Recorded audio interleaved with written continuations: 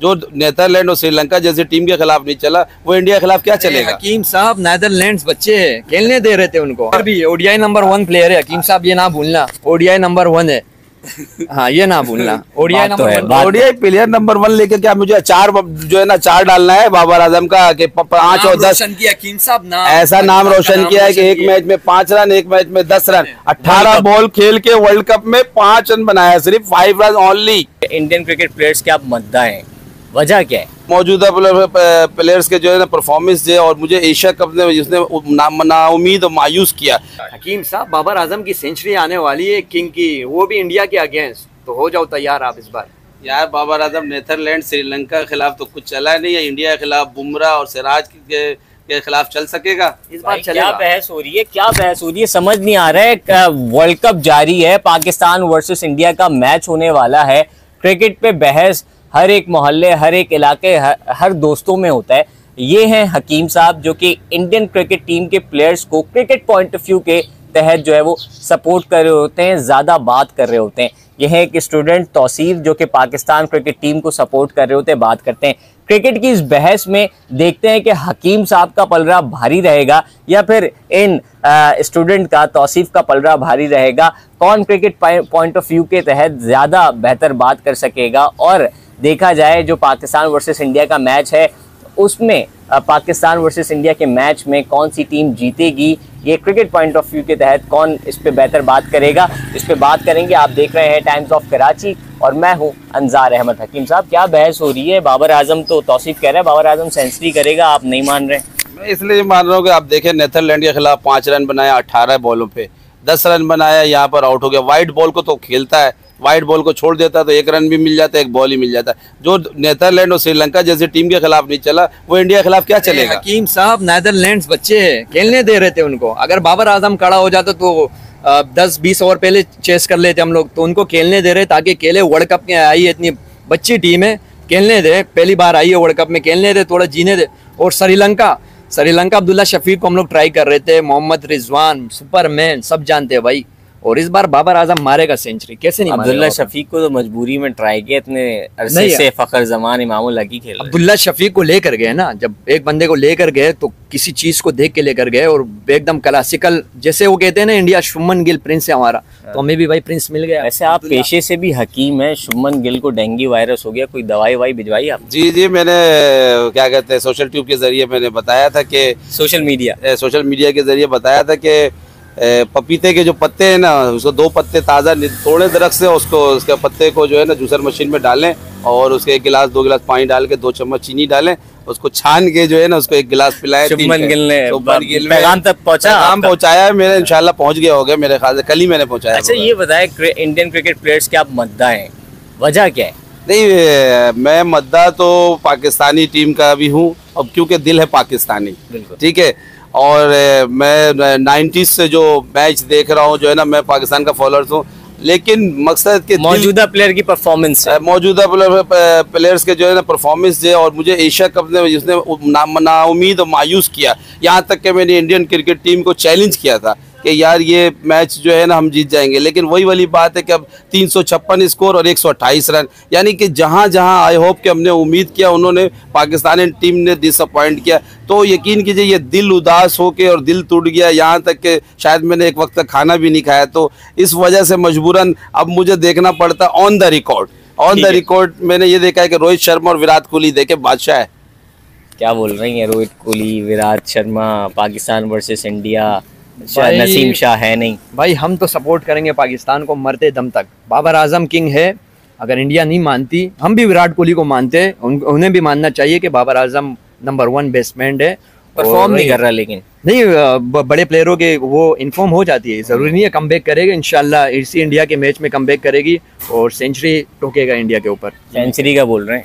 नहीं नहीं इंशाल्लाह सेंचुरी करे लेकिन मेरा जो मौकफ यही है कि देखें हम जो क्रिटिसाइज करते हैं तो लाजमी सही करते हैं। इसलिए कि जब जब क्रिटिसाइज किया है ऐसा भी हुआ है कि बाबर आज़म ने सेंचुरी किया है लेकिन कहने का मतलब जब उससे ज़्यादा उम्मीदें लगा लेते हैं ना तो वो अंडे पे आउट हो जाता है तो और उसके पे आउट होता है? अंडे पे।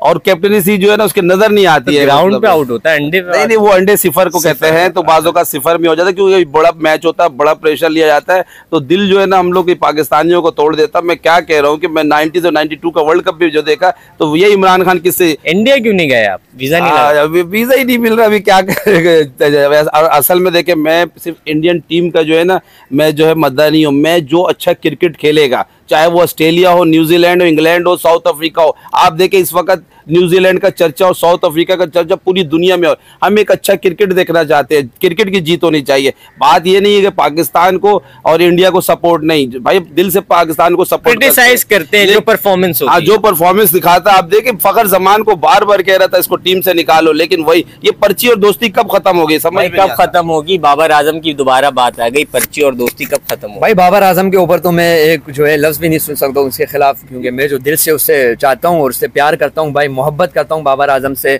रही पर्ची की तो है कुछ आ जाते हैं पर्ची।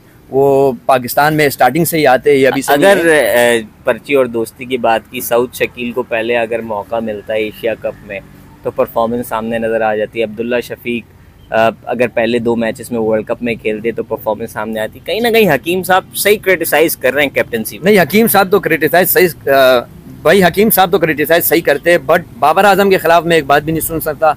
बाकी ये है कुछ भी परफॉर्मेंस हो या ना हो। हो जाए हाँ बाबर आज़म परफॉर्मेंस दे या ना दे भाई मैंने पाकिस्तान का सवाल है कह रहे हैं कि बाबर आज़म बाबर आज़म ने जो है हमारी दुनिया में इतनी बड़ी इज़्ज़त बना दी ना क्रिकेट में। हम लोग पहले कुछ भी नहीं थे। वो हम, हमारे प्लेयर आते भी नहीं थे और रैंकिंग में अब देख सकते हो बाबर आज़म रैंकिंग में आए और इज़्ज़त बन गई। अब जैसे इंडिया ने कितना बड़ा सपोर्ट किया बाबर आज़म को हैदराबाद पूरा भरा हुआ था। क्या कह रहे हैं मैं इनकी बात से इसलिए भी इख्तलाफात कर रहा हूँ कि इनको यही नहीं मालूम है कि जो ये क्रिकेट को जो नंबर वन रैंकिंग पे लाने दिया और इंडिया जो से हम वर्ल्ड कप में हमेशा हारते हुए आए हैं। आप ऑन द रिकॉर्ड आप चेक करें तो शायद हम फिफ्टी ओडीआई में हम जीते नहीं है। ये सरफराज अहमद उसके लिए क्लिपिंग बनता है क्योंकि सरफराज अहमद ने जो है उसने स्टार्ट किया आपको चैंपियंस ट्रॉफी ट्रॉफी 2017 तो आप उसको भूल गए आप पर्ची के चक्कर में सरफराज को एज ए कैप्टन आप उसको खिलाते हैं आपने उसको नहीं खिलाया अच्छा वो तो मा- माजी की हाँ। माजी की बात हो गई ये। बताएँ ये कह रहे हैं कि अभी कि मैच हारे या जीते जैसी भी परफॉर्मेंस रहे बाबर आज़म से मोहब्बत करते रहेंगे लेकिन बात तो पाकिस्तान क्रिकेट टीम की है वर्ल्ड कप की है आप ये सच बताएँ आपसे मैं सच्चे दिल से पूछना चाहता हूँ आपसे जी जी ठीक है एज ए एंकर कि आप पाकिस्तान को पहले देंगे या आप पर्ची और रिश्तेदारी को देंगे मैं तो भाई पाकिस्तान को पहले जीतता हुआ देखूँगा भले किसी भी इंडिविजुअल प्लेयर की परफॉर्मेंस हो या ना हो क्योंकि खेल पाकिस्तान के लिए रहे। तो क्या हुआ यहाँ? हसन अली एक साल के बाद आ रहा दोस्ती। अच्छा उसके बाद जमान खान जो बॉलिंग करना चाहिए उसको अपने रिज़र्व में डाल दिया है। और जो वसीम जूनियर पिट रहा है जिसका तीन ओवर नहीं हो पा रहा है उसको आप खिला रहे प्लेइंग इलेवन में वैसे आप इतनी दवाइयाँ देते हैं इतने तज्जिए भी हैं मशवरे भी हैं। कई बाबर आज़म से रबता करने की कोशिश की है कि हकीम साहब का मशवरा पहुँचे?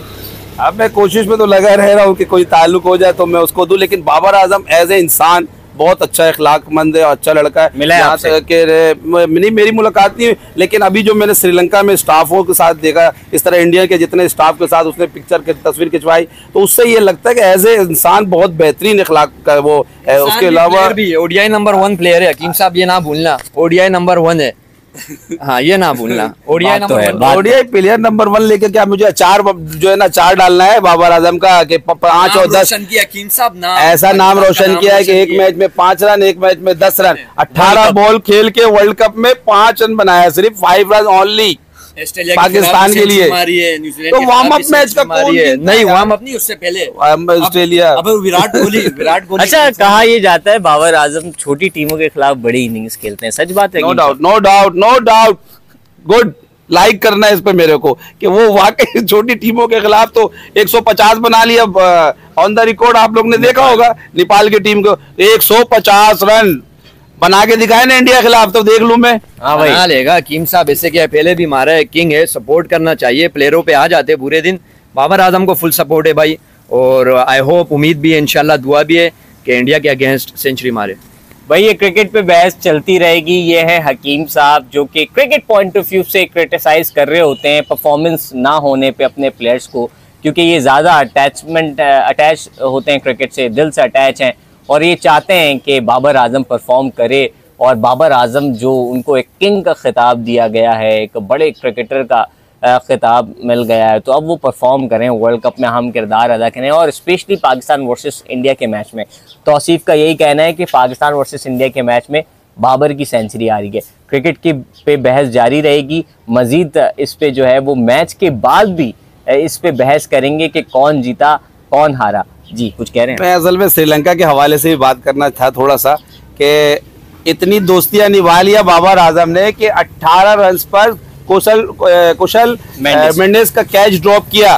फिर उसने आपके साथ इतना मलाई बोटी का खेला कि 77 बॉल इमामुल हक ने drop किया। इमामुल हक ने कैच ड्रॉप किया है कैच इजी कैच ड्रॉप किया और उसके बाद उस 18 स्कोर्स के बाद उसने क्या किया कि मुझे मुझे तो अब आउट होने से बच गया है। अब तो भाई मैं तो डूबा हूँ सनम तुझे ले डूबूँगा। तो उसने क्या कहानी किया? ये देखे।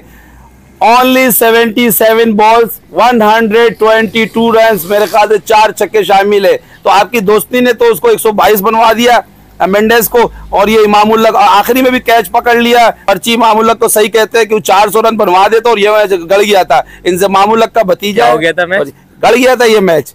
तो कहने का चार सौ रन बन जाता है। इमामुल लक जो इमामुल लक का भतीजा है और बाबर आज़म का दोस्ती है। अठारह रन पे आउट हो रहा था वो लड़का तो सोचो फिर भी स्कोर क्या रह जाता श्रीलंका का। भाई क्रिकेट पे बहस जारी है। अब मैच के बाद भी इनसे इनको पकड़ेंगे और देखेंगे कौन जीता कौन हारा और अ, क्या मैच में गलतियाँ हुई उस पर भी बात करेंगे। अ, आज के लिए इतना ही। मजीद अपडेट रहने के लिए देखते रहें टाइम्स ऑफ़ कराची